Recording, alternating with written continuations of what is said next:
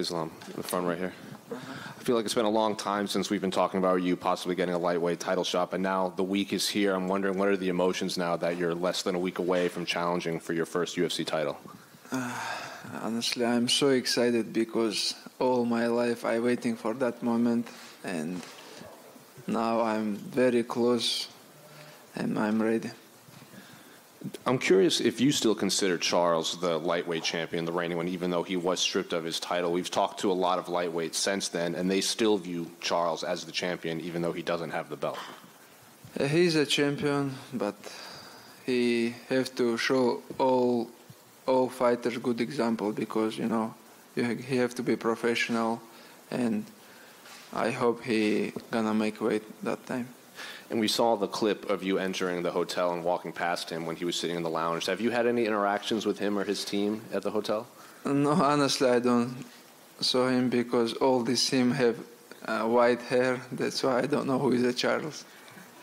And then looking at his, his style of fighting, it seems a lot of his submission wins have been defensive, where his opponents have shot in for a takedown or they've made a mistake and he's capitalized. I'm curious how you would break down his grappling and his defensive grappling compared to past opponents. This is my goal: finish him in the ground because I have to show all people my grappling level.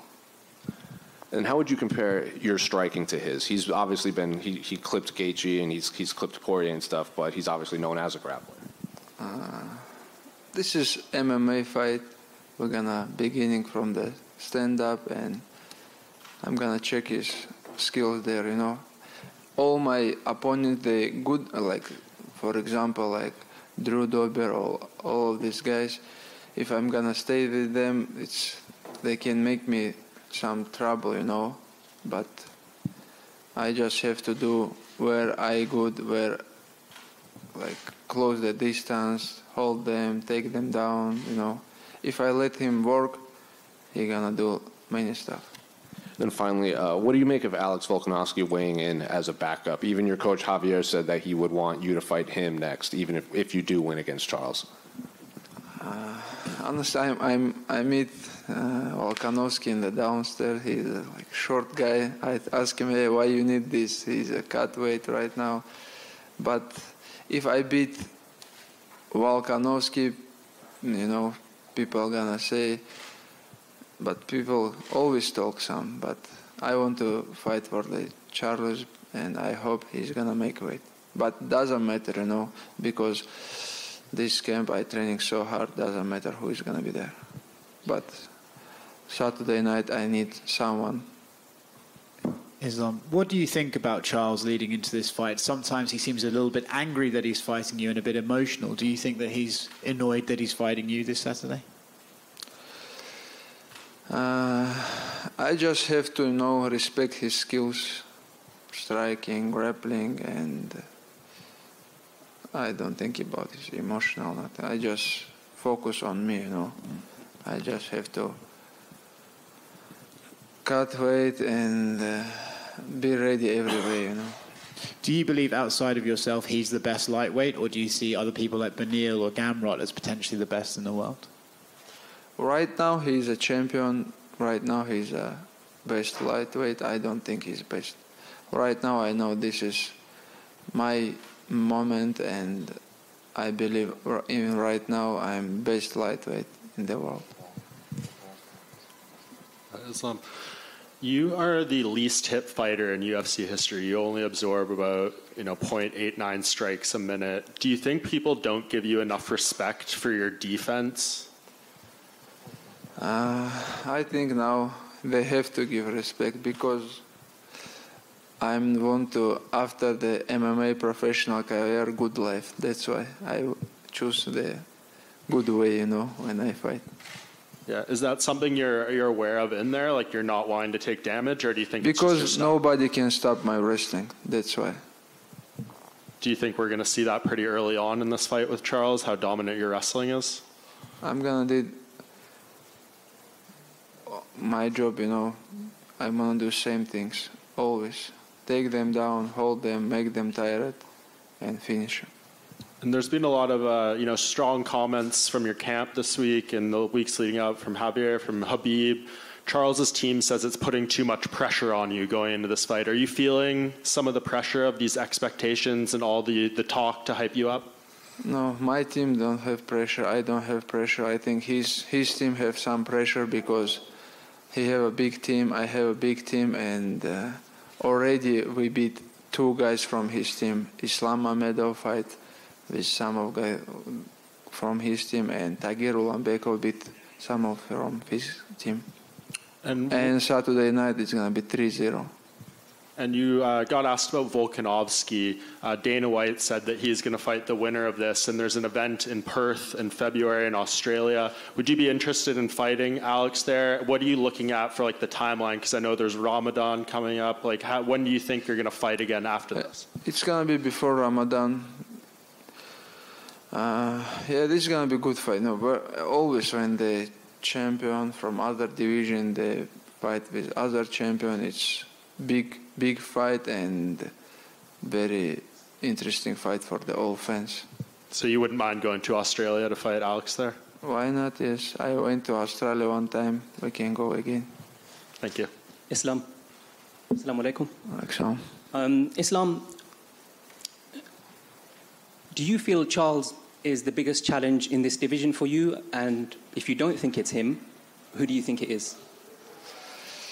Biggest challenge, you know, we have many guys right now, like young generation, who have good skills in the in the top ten. Like, for example, uh, Gamrot, Beneil, this, and uh, Fiziev.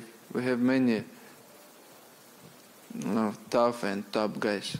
And I know you got married last year, and after listening to your podcast with Megan Olivi, I learned that you have a nine month old daughter now as well. Um, ten.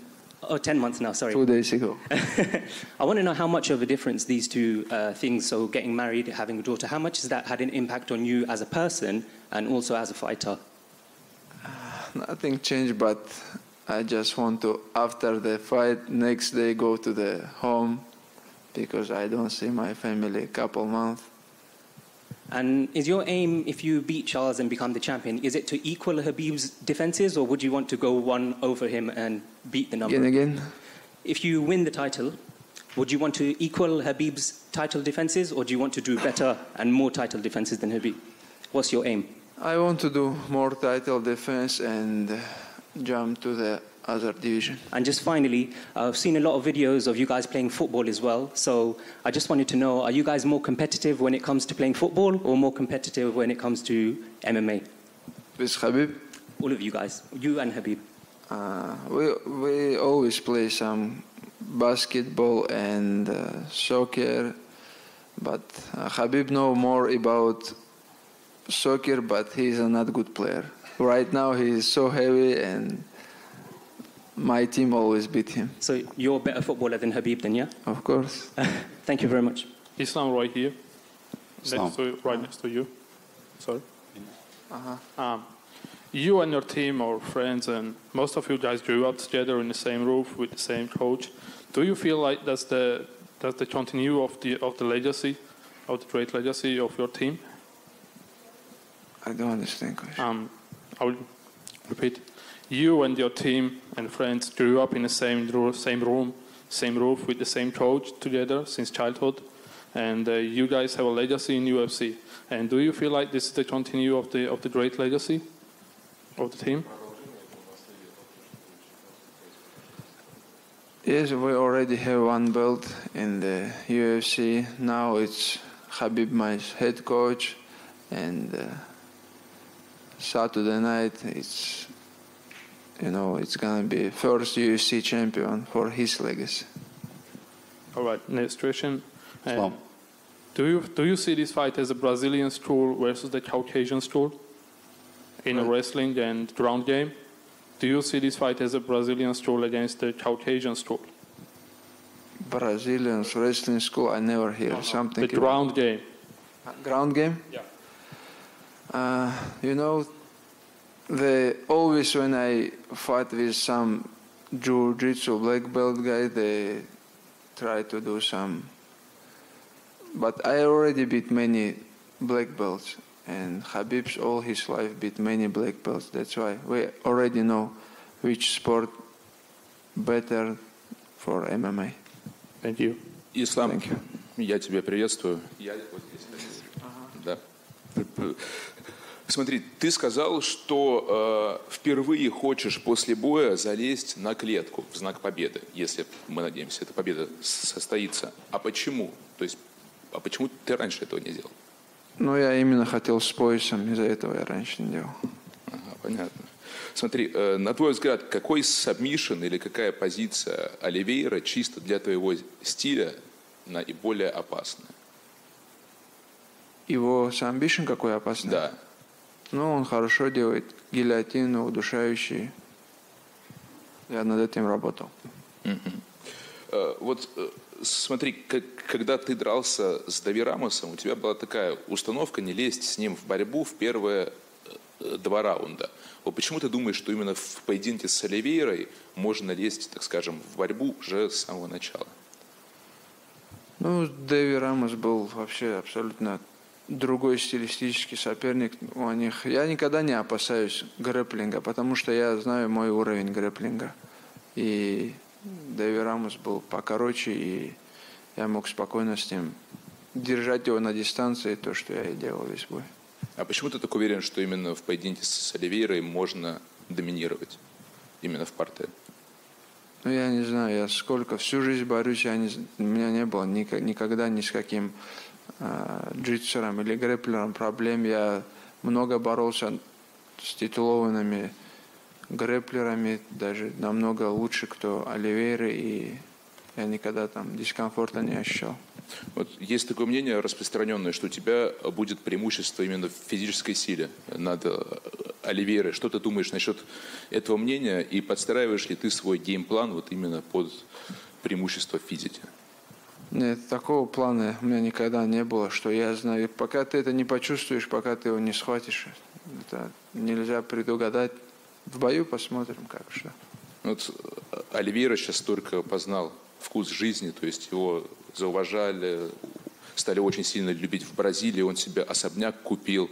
Тебе не жалко вот человека такого, э, э, так Ну, скажем, я из-за этого уважаю, что он пришел из такой тяжелой жизни, что, не знаю, он там где-то в начале карьеры выживал, что его семья тоже как-то помогала ему. Он сейчас уже может поменять жизнь для всей своей семьи. За это я его уважаю. И последнее от меня. Э, Что тебе больше всего, так скажем, бесит на неделе боя, за исключением весогонки? Ну, уже, знаешь, не первый мой главный бой вечера, и уже я как-то привык, даже я сегодня сам, ну, с утра настраивался на такой тяжелый день, ну, уже последнее у меня осталось. Впереди тренировка, и уже все, я привык к этому. Вначале было тяжело, я даже менеджерам говорил, нельзя что-то урезать, что-то убрать, мне же надо вес гонять. Ну, вот я уже с командой хожу, как-то быстро все пролетает. Спасибо. Islam right here. Uh, you obviously follow all the fighters in lightweight division, but do you remember the day when you saw Oliveira fight and you thought, I might be fighting this guy at some point of my career? honestly, after just when he take this belt, I just thinking about him because before he have many lose, many like hard fight, and I never think this guy gonna be champion. But right now everything is changed, and now like last couple years I follow his career. So Habib is going to be in your corner. He, as you said, he's your head coach now, but he's been in your corner throughout your whole career, probably, right? Like, was there any fight when he wasn't in your corner, and was it different for you? No, he always my corner, and you know this is. Uh, they give me you know good energy when I have the guys who have like good experience in this sport, and coach have to he have like big big experience in this because he have many champions. You know, they give me always good example. So who else is going to be in the corner? Coach Javier, Coach Khabib, and who else? He's gonna be my striking coach from the Russia, my brother Muslim, and uh, Khabib and Javier. So how is it different? Like one person is focusing on technical point, someone's giving you like you know emotional advice. It's like go for it. Like how do you see those three guys doing it? Um, I don't know. Always when the I'm in the in the cage, I hear Khabib because he no he good good give me good advice always. You know, he's guy, and uh, they listen each other. You know, they they don't go, they don't say something like together or they, you know, this uh, Khabib and Javier. No, I think this is the best best corner in the world because these both guys have good experience. So who is the most emotional of them? I think Habib when some some somebody do some wrong things, he go crazy always. Thank you. Салам. Алейкум. После боя с э, Джастином Гейджи Хабиб сказал, что акклиматизация чуть ли не ключевым, э, чуть ли, стала чуть ли не ключевым фактором в его победе, потому что он не до конца восстановился. Кто, Хабиб сказал? Да, в интервью Магомеду Исмаилову. А, как тебе кажется, Оливейра уже пришел в себя, потому что здесь очень тяжело дышать в Абу-Даби? А, они что же заранее приехали, думаю, Нас- да. ну, Не настолько заранее, насколько вы. Я не знаю, по-моему, и в Бразилии такой же влажный климат, как и здесь. Ну, они приехали за две недели, по-моему. Не знаю, как будет. Для меня уже это привычно, потому что я месяц уже в Дубае находился. И если не секрет, сколько килограмм осталось согнать еще? У меня где-то 5 килограмм осталось еще. Вот 4 тренировки у нас, где-то 5 килограмм, да. Спасибо. Ислам, Вадим Тихомиров, Матч ТВ. Скажи, пожалуйста, вот история UFC знает много примеров, когда бывшие друзья потом становились э, соперниками. Джон Джонс, Рашат Эванс, Фрэнсис Нгану, Сирил Ган, Дилашоу Гарбранд. А, Мне кажется, это очень важно объяснить, а почему ваша дружба с Хабибом носит принципиально другой характер. Вы никогда не станете соперниками. Sorry, I ask is uh, about uh, fights between former friends uh, like uh, Rashad Evans and John Jones, uh, Cody Garbrandt and TJ Dillashaw, and I ask about uh, potentially fights between Islam and Habib. На русском? Если можно, да. Ну, смотри, у них на каких-то интересах дружба связана. Это не, не нас, с- нас соединяет вообще другое. У них там, они во всем какая-то выгода, и в конце у них становится вражда. А если ты как мусульманин и относишься к своему брату как к своему, любишь его как брата мусульманина, то всегда у нас бывает до конца теплые отношения. Даже в этом, если ты в друге ищешь какую-то выгоду, там какую-то что-то там тебе может с ним быть хорошо, то это в конце заканчивается враждой. Но если у тебя искренние отношения, то, то такая связь не рушится. И Хабиб искренне обрадуется, если ты, например, обойдешь его по количеству защит титула. Я думаю, сто процентов. А, Последний вопрос от меня, если можно. Как ты думаешь, что должно в вашем бою случиться, чтобы был реванш в Бразилии между тобой и Чарльзом Оливейрой? Это должны быть пять раундов, должны быть обоюдные нокдауны. Вот как, как бы ты ответил? Ну, если будет такой, не знаю, уже Дана Уайт сказал, что Волконовский следующий, он будет драться за пояс. Ну, я знаю, много, четвертый раз сейчас для Фигередо они дерутся.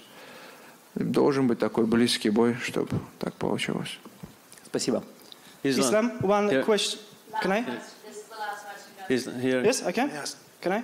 Yes. So you said about Gamrot, Mateusz Gamrot. So one question about him, because it's not a secret that he has a big respect for you and the fight, future fight maybe, with you. It is a dream fight for Gamrot. So what do you think about uh, Mateusz and his skills? Mateusz is good. I I remember, I remind when they signed him, and I, before he came to UFC, I know this guy, and uh, I saw his couple fights. He's a good, and he's a bad match for the other guys because these guys have good wrestling skills. Always, always, guys who have good wrestling skills, the all fighters have problem. Thank you. Islam. Мне сказали, что последний вопрос, поэтому я тебе на английском и на русском задам. Привет. А, Как ты думаешь, если бы Абдулманап Магомедович был бы здесь перед твоим боем, а, какой бы совет бы он тебе дал? Э, И на английском я тебя спрошу. What advice would Abdulmanap Nurmagomedov give you if he will be there? Ну, я скажу так, что мы даже сейчас на тренировках эти подсказки, эти там как тренируемся, вообще весь тренировочный процесс сидели и без Хаиба обсуждали с, с пацанами. И мы пришли к тому, что то же самое, вот как я этот яблоко от яблони далеко не падает, и у него все так же, и вот эти все, вот как он нас гоняет сейчас в зале, откуда это перешло, даже всем понятно. Я думаю, что у Хаиба хорошо получается заменять отца, но с ним было бы намного проще. Спасибо. Thank you, guys. Thank you.